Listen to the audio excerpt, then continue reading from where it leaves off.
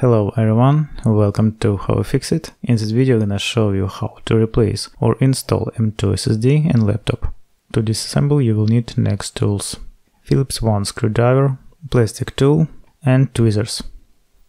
Also I recommend using a magnetic mat in repair process and laying out uh, each screw step by step during disassembly, which is especially useful in case of this uh, laptop and it is very important not to confuse them during assembly. In the description I'll add link where to buy all necessary tools.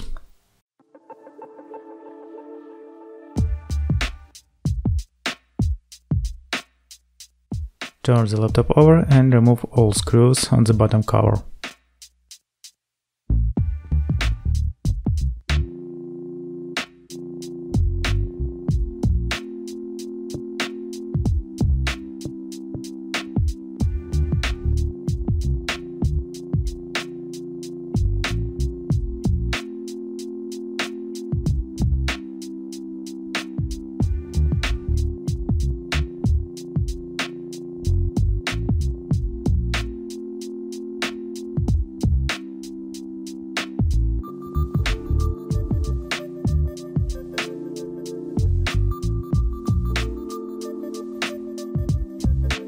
Next, take plastic tool and begin to open the case on laptop. I recommend using a plastic tool so as not to damage the laptop case when you open it.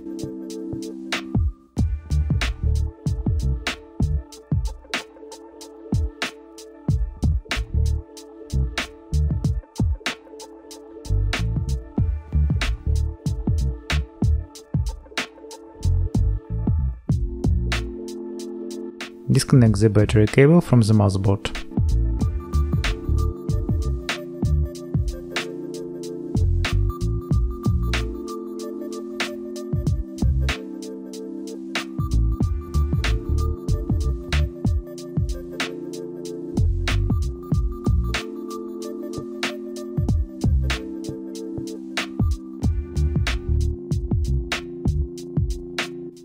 This laptop supports SSD type of M2 NVMe storage.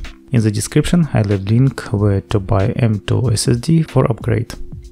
Also, in the description you will find link to a video where I explain the difference in types of M2 SSD drives that works on SATA 3 bus and M2 NVMe which work on PCI Express bus. If you still don't know what type of drive you need, I recommend watching this video. After installing the new SSD, you will need to transfer the old operating system to a new drive or install new operating system. In the description I'll add link to a video where I'll show you how to transfer Windows OS to a new SSD or how to install new operating system on new SSD drive.